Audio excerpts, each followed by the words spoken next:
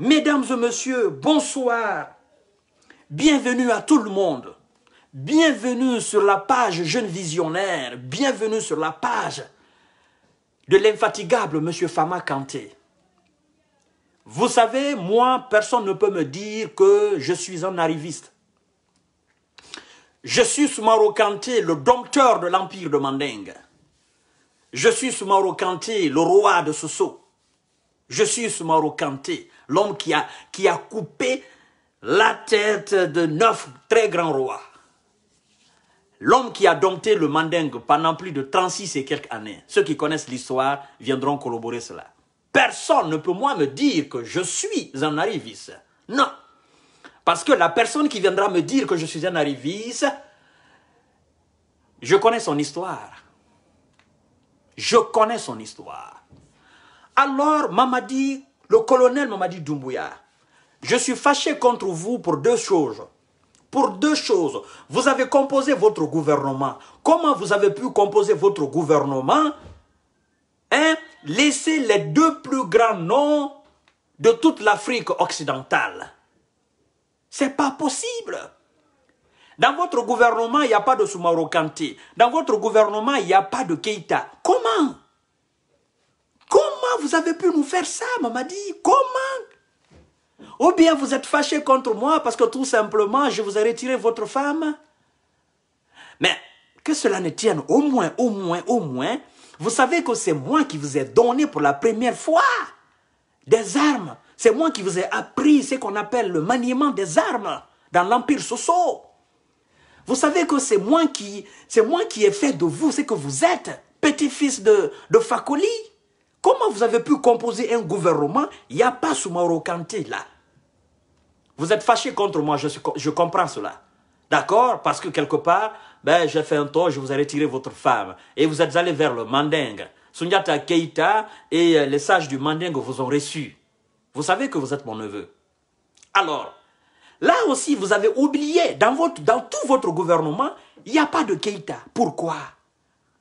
Cela dit en passant, nous acceptons, nous, nous sommes les conseillers. D'accord? Nous, nous sommes les conseillers. Vous savez, nous, nous sommes fiers. Moi, je suis particulièrement fier parce que c'est mon neveu, c'est moi qui l'ai appris le maniement des armes. D'accord? C'est moi qui lui appris la guerre, je lui ai appris la sorcellerie, je lui ai appris tout ce qu'il sait aujourd'hui. C'est moi, Soumarou Kanté. C'est mon neveu. Et après, bon, il y a eu euh, un petit problème entre nous. Il est parti dans le royaume du Mandingue. Bon, les Keita, ils l'ont reçu, les Traoré, les Kamara et tout ça, ils l'ont reçu. Bref, ça c'est un passage. Alors, nous, les Soumaro Kanté et les Keita de l'Empire Mandingue, nous sommes alors en quelque sorte les conseillers de notre neveu, de mon neveu, voilà, pour qu'il gouverne bien. C'est pourquoi chaque soir je suis là pour attirer son attention, je le conseille, je le donne, je le promulgue des conseils. Mais je pense que dans tous ces conseils, il y a quelque chose qui l'a échappé. Il est allé nommer Ousmane Gawal Diallo. Ousmane Gawal Diallo. Ministre de quoi? Ministre de l'urbanisme, ministre de l'habitat, de l'aménagement du territoire. C'est ça? Ah non, tout sauf ça. Mon colonel, comment vous pouvez nommer Ousmane Gawal Diallo? C'est lui qu'on appelle l'arriviste en Guinée C'est lui qu'on appelle esclave en Guinée?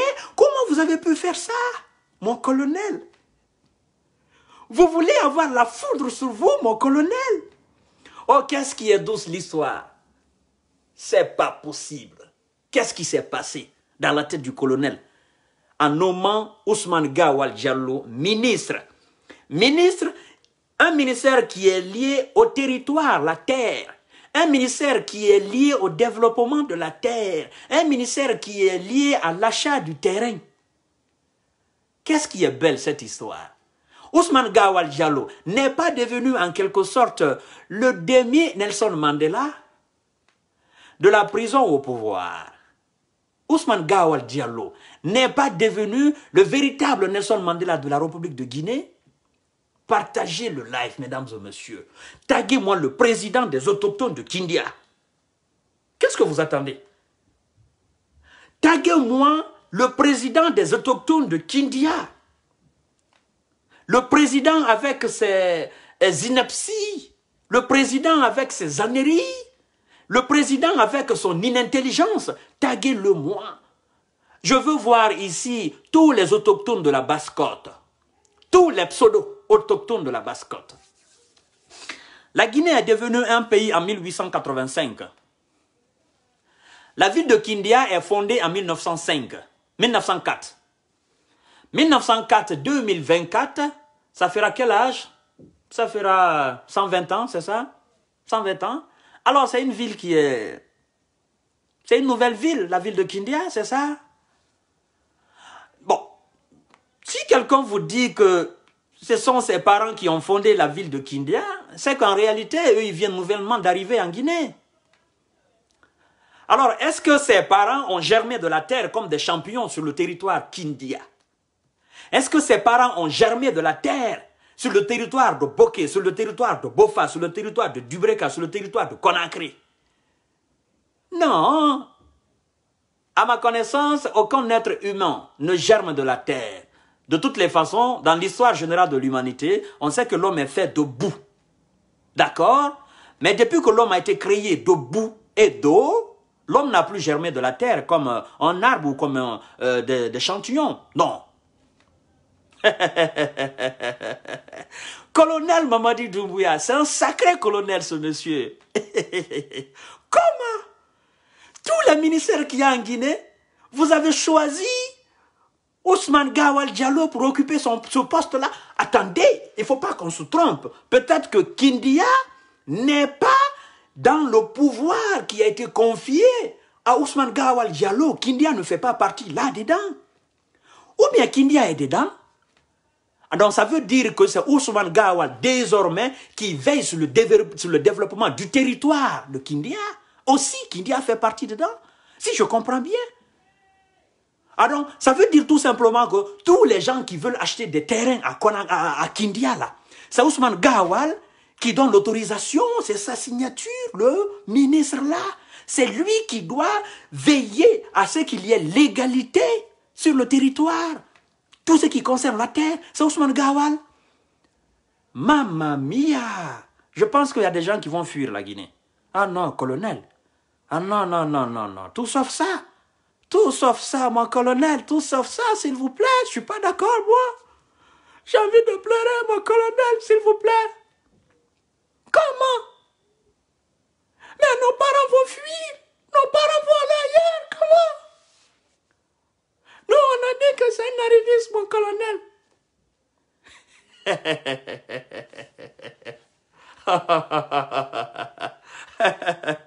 oh, bon sang de Dieu. Vous savez, je fais cette petite vidéo parce que il n'y a pas très longtemps, Ousmane Gawal était, était traité de toutes les étiquettes. Ousmane Gawal était traité de tout. Je ne fais pas cette vidéo pour me moquer. Je fais cette vidéo pour inculquer les valeurs de la République à tous les enfants de la République de Guinée. La Guinée n'est pas, la Guinée n'est pas la propriété privée de quelqu'un. Quel que soit ton pouvoir, quelle que soit ta richesse, la Guinée ne t'appartient pas. Aucune portion du territoire guinéen n'appartient à un Guinéen. Mesdames et messieurs, ça appartient à l'État. La Guinée est une république. Personne n'est fondateur de la Guinée. Je, dis toujours ça, mais les gens ne... Je crois qu'il y a des gens qui ne comprennent pas ce message. Personne n'est fondateur de la Guinée. Le seul et unique fondateur de la République de Guinée, c'est la République française.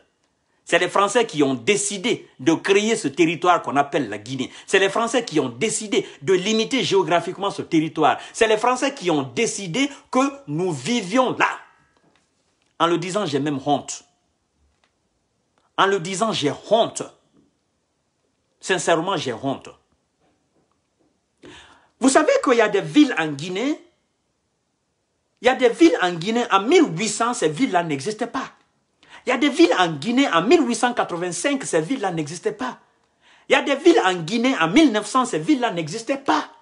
C'est-à-dire que quand les Français ont décidé de tracer ce territoire, bâtir la Guinée, la ville de Kindia n'existait pas. Parce que le, partage de l'Afrique s'est effectué en 1885 à la conférence de Berlin. Et donc, la ville de Kindia n'était pas sur la carte, sur la cartographie guinéenne. Ça n'existait même pas. Parce que 1885, il y a eu neuf ans entre le partage, entre la délimitation, entre le traçage de la frontière guinéenne et la création, la fondation de la ville de Kindia, il y a eu neuf ans. Kindia est fondée en 1904. C'est-à-dire, Kindia est fondée en 1904, Ahmed Sektouré est né en 1922. Il n'y a pas même assez, il n'y a pas beaucoup de choses entre, la naissance d'Ahmed Sektouré et la fondation, la création de la ville de Kindia. Il faut que les gens apprennent l'histoire de notre pays. La Guinée est un État. La Guinée est une république. La Guinée est un ensemble. Nous devons vivre ensemble. Nous sommes tous des Guinéens. Surtout, surtout, tous ceux qui ont, tous les enfants qui ont leur, leur grand-père, c'est-à-dire leur père ou leur grand-père, né après le partage de l'Afrique, en Guinée sont des Guinéens. On doit arrêter ces discours sans queue ni de tête. On doit, on doit arrêter cette, euh, cette division, ça n'a pas de sens. Ça ne fait que desservir la cause de notre nation, comme disait Victor Hugo dans Les Misérables. Mesdames et messieurs, écoutez, aujourd'hui, l'histoire a donné raison au colonel Mamadi Doumbouya.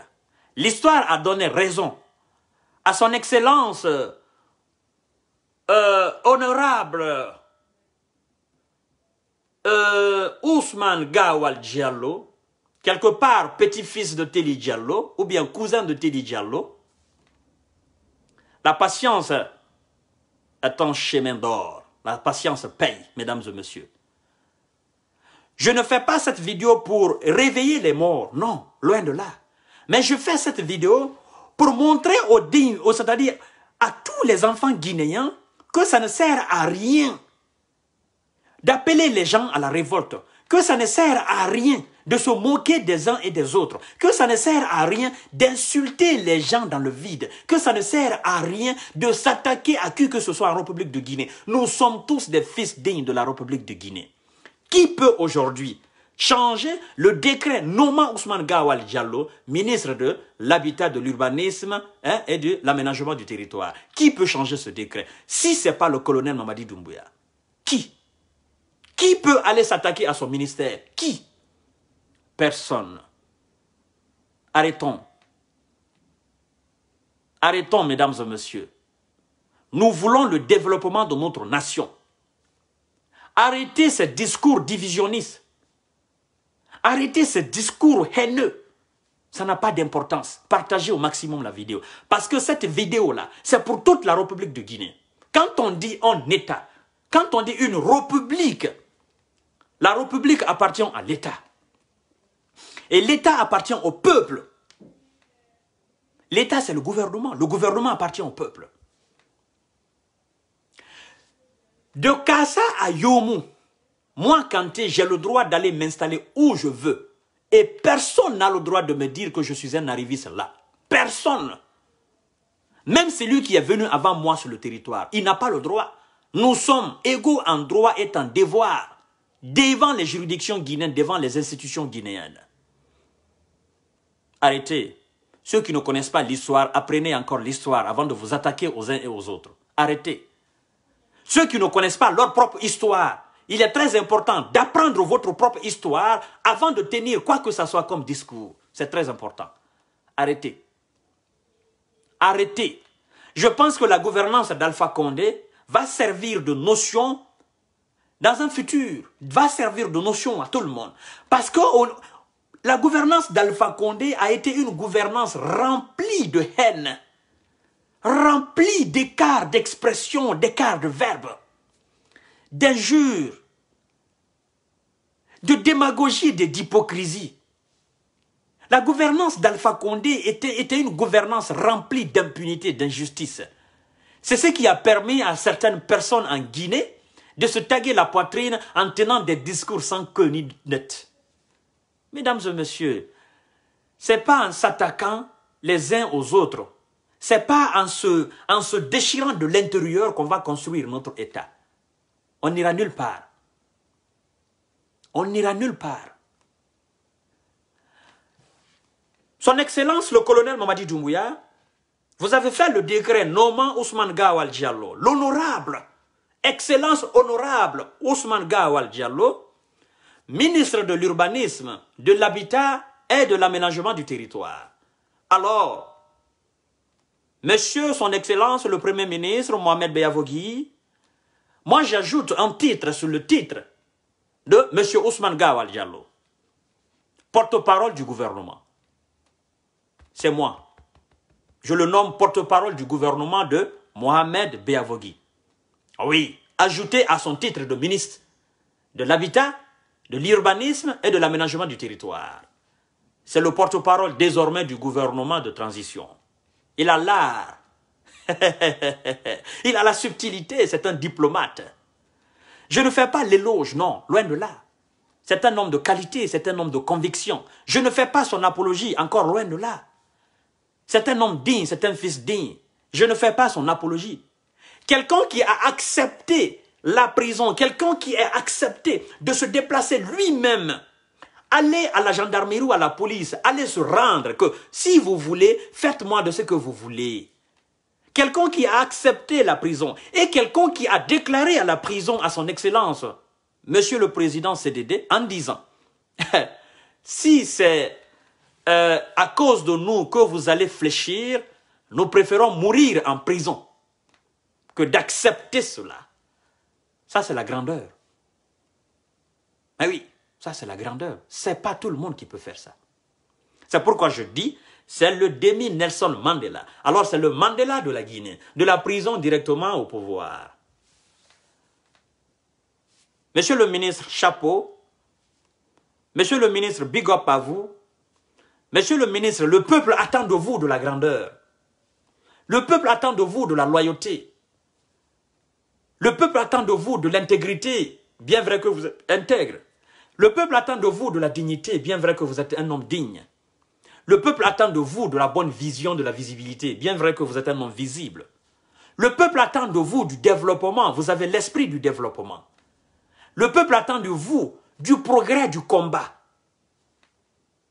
Et vous vous inscrivez dans cette logique du CNRD. Son Excellence honorable Ousmane Gawal Diallo. Je sais que vous êtes un homme qui est au-dessus de ceux qui vous traitent de toutes les étiquettes. Je sais que vous avez la tête bien haute. Et je sais que vous êtes capable de montrer en grandeur et en dignité, en patriotisme, ce que vous avez déjà montré. Je sais que vous êtes quelqu'un qui se met toujours constamment en cause pour dire est-ce que je fais suffisamment? Est-ce que ce que j'ai fait, ça suffit? Non, ça ne suffit pas. Alors je dois encore ajouter, ajouter, ajouter, ajouter pour que ma nation soit fière de moi, pour que je sois fier de moi-même. Honorable Ousmane Gawal Diallo, vous avez mon respect. Vous savez, quand vous étiez en prison avec le shérif et si, je ne cessais de clamer votre innocence. Je ne cessais de parler de vous parce que je sais qui vous êtes. J'ai mené des enquêtes sur vous honorable Ousmane Gawal Diallo. Et je sais que le colonel, en vous nommant ministre de l'habitat, de l'urbanisme et de l'aménagement du territoire, il ne s'est pas trompé du choix. Le choix est net. Et ça sonne très bon dans les oreilles. Sauf dans les oreilles des sous. Mais vous savez, ça sonne. Le tambour, ça sonne. On a sonné le glas pour que ça sonne là dans les oreilles. Dans les oreilles des sous, ça ne sonne pas. Mais vous savez, ça va se transformer en vapeur. Ce, son va se transformer en vapeur, monter au ciel et ça va constituer un nuage. Après, ça va pleuvoir. Et les sous, ils vont sentir les gouttelettes de cette pluie. Ils se rendront compte qui vous êtes devenu ministre de l'habitat, de l'urbanisme et de l'aménagement du territoire de toute la République de Guinée. Pas seulement de Gawal, mais de toute la République de Guinée. Vous méritez son excellence. Si c'est ce qui fasse, si c'est ce qui fait débat, euh, sujet de débat, je pense qu'il n'y a pas de... ça ne mérite même pas. Vous savez, son excellence, en réalité, vous méritez même plus. Mais Vous vous dites tout simplement que je ne suis pas, je ne suis pas plus grand que les postes ministériels de la République de Guinée, parce que la Guinée passe avant moi, Ousmane Gawal. La Guinée est plus grande que moi. Je ne suis qu'un individu, je ne suis qu'une personne, une modeste personne. Je ne suis pas dans la passion. Je sais que je suis en train de vous raconter, c'est de la vérité. C'est réel. Approchez l'homme. Vous allez voir son humilité. Approchez l'homme, vous allez sentir la chaleur qu'il dégage. Approchez l'homme, vous allez, vous allez sentir sa sociabilité. Approchez l'homme, vous allez sentir son esprit combatif. Mesdames et messieurs, partagez le live. Je veux un maximum de partage. Parce que le colonel intrépide, le vaillant colonel, le petit-fils de Fakoli, moi, mon neveu même personnel, je pense qu'il a bien choisi ce poste pour ce monsieur-là. Et se dit, mon cher, écoutez, vous méritez quand même. Ce n'est pas une récompense que je vous donne, que je vous fais. Non, vous méritez. Vous avez l'intellect. Vous êtes doté d'une probité morale très élevée. Vous avez la capacité. Et vous êtes digne vous êtes patriote. La Guinée passe avant tout pour vous. Alors, mesdames et messieurs, écoutez bien. Je vois quelques, quelques personnes un peu éclairées essayer de faire euh, quelques, essayer d'apporter quelques confusions par rapport euh, à la nomination de M. Ousmane Gawal Diallo pour dire est-ce que l'UFDG a été consulté. L'UFDG, l'UFDG c'est pour la Guinée. Vous comprenez? La Guinée est plus grande que l'UFDG. Alors, si le président de la République a besoin d'un élément de l'UFDG, il fera appel à son service.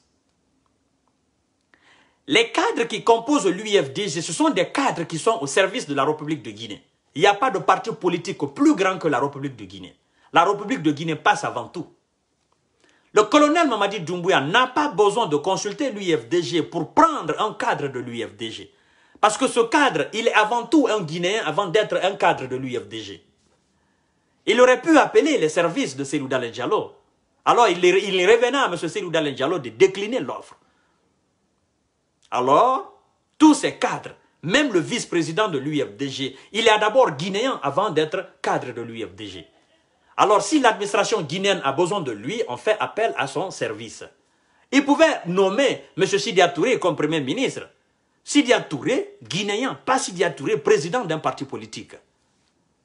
Alors, il revenait à Sidia Touré de décliner l'offre. Le président de la République n'a pas besoin de consulter quelconque parti politique pour nommer un élément de son parti. Non. Le parti est dans la Guinée. Ce n'est pas la Guinée qui est dans le parti politique. Nous incarnons tous cette valeur de la République. D'accord? Nous sommes d'abord Guinéens avant d'appartenir à une entité politique. C'est ce que vous devez comprendre. Alors le colonel Mamadi Doumbouya n'a pas besoin de demander l'avis de Selou pour euh, prendre un cadre de l'UFDG ou pour convoquer un cadre de l'UFDG afin de le nommer un ministre quelque part. Non. Vous devez comprendre. L'UFDG n'est pas plus grand que la Guinée. L'ANAD n'est pas plus grand que la Guinée. Le RPG Arc-en-Ciel n'est pas plus grand que la Guinée. La preuve en est que tous ces partis politiques et tous ces éléments qui composent ces partis politiques sont sur le territoire guinéen. Aucun n'est au-delà du territoire guinéen. La Guinée nous englobe tous. Et c'est nous qui composons les éléments hein, de la Guinée. Ah, donc, c'est lui qui est à la, à la tête de cette République de Guinée. C'est lui le premier magistrat de la République de Guinée. C'est lui le premier décideur de la République de Guinée. Alors s'il a besoin d'un élément qui appartient à quelconque entité politique ou quelconque entité sociale, bien évidemment, il fait appel à son service. Vous avez vu de, en 2007, autant de Lansana Conté. Monsieur Lansana Kouyaté occupait un poste à l'étranger. Il était fonctionnaire international. Mais quand la République de Guinée a eu besoin de lui, il a suffi seulement au président de l'appeler. Ou au syndicalistes, les Rabiatou et les Fofana paient à son âme. Oh, appelez seulement Lansana Kouyaté, la République a besoin de toi. Monsieur Lansana Kouyaté est venu. Monsieur Abessila qui est nommé ministre, mais c'est un président d'un parti politique. Mais Abessila est guinéen avant d'être président de parti politique. Il était aux États-Unis. On l'appelle, ben il est là. C'est comme moi, c'est comme vous qui êtes là. Quel que soit votre poste à l'étranger, si la République de Guinée a besoin de votre service, vous devez, à cause du patriotisme et du nationalisme, à cause de l'amour que vous avez pour la Guinée, vous devez abandonner ce poste pour venir servir la nation. Si les fonctionnaires internationaux, ils ont, ils ont délaissé leur poste, la plupart des gens qui sont dans le gouvernement, ils occupaient des postes à l'étranger. Si ceux-là ont délaissé leur poste avec des salaires juteux, qu'est-ce qui va empêcher Ousmane Gawal Diallo de refuser ce poste ministériel s'il est vraiment patriote, s'il veut vraiment servir la Guinée? Mais il reste toujours un cadre de l'UFDG. Cela ne l'empêche pas de servir la Guinée. Parce que cette transition-là, ce n'est pas un parti politique. Ce n'est pas une élection qui a été organisée pour que le colonel Mamadi Doumbia vienne à la tête de l'État. Mamadi n'est pas militant, sympathisant d'un parti politique. Mamadi n'appartient pas à un parti politique. C'est ce que vous devez comprendre. C'est le caractère, le caractère de la présidence de Mamadi, n'est-ce pas, qui ouvre le chemin à tous ces gens-là, de ces partis politiques, si vous voulez bien, à intégrer le, gouvernement de transition. C'est ce que vous devez comprendre, y compris Ousmane Gawal Diallo.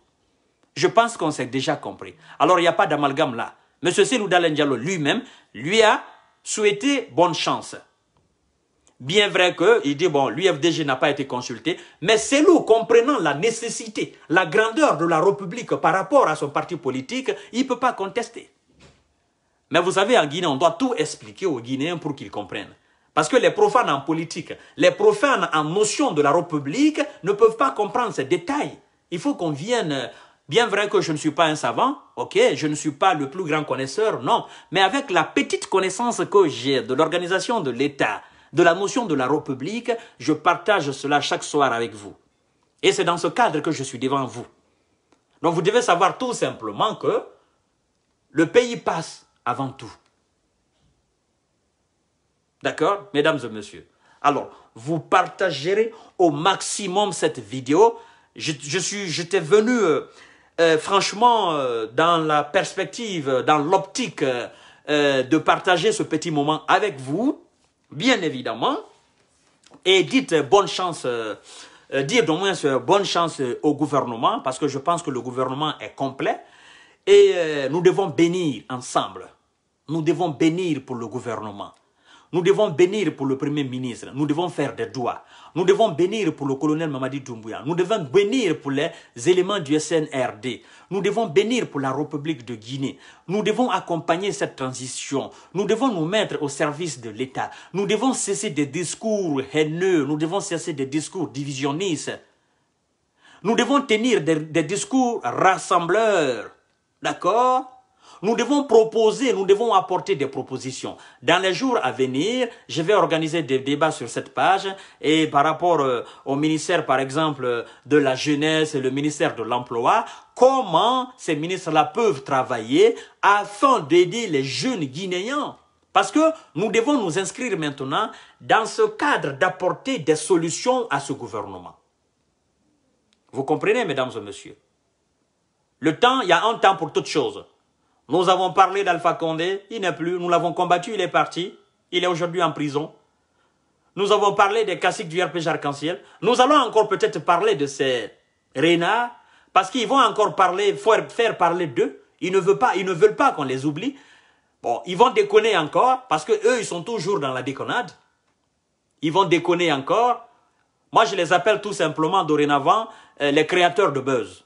Parce que ce sont eux qui créent des buzz. Ils vont encore créer des buzz et nous, on viendra encore les taper les dessus. En tant qu'ils ne sont pas droits, en tant qu'ils ne se conforment pas au règlement de la charte, au règlement de la transition, on sera toujours là à les taper, encore taper, encore taper très fort. Parce que on aura compris que ces vieux, nos ces grands-pères, on les a poussés à accepter le respect. Ils veulent pas le respect. Le colonel les respecte, mais ils veulent pas. Alors, ils veulent qu'on les manque de respect. Et nous, dans notre éducation traditionnelle, dans notre éducation de l'Afrique traditionnelle, les enfants ne manquent pas de respect aux vieillards. Les vieillards sont à respecter.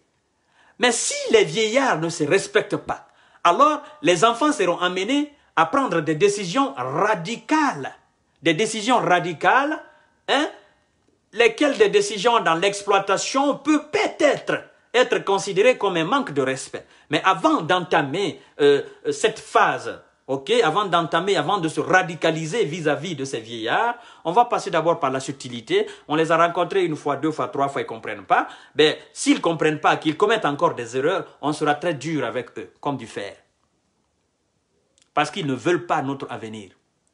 Tout leur combat aujourd'hui, c'est de créer un climat de tension en Guinée pour ne pas que, hein, fasse l'audit pour ne pas qu'ils passent devant euh, euh, euh, la justice. C'est tout leur combat. Ce n'est pas un problème de libération d'Alpha Condé. On a déjà compris et le colonel a compris.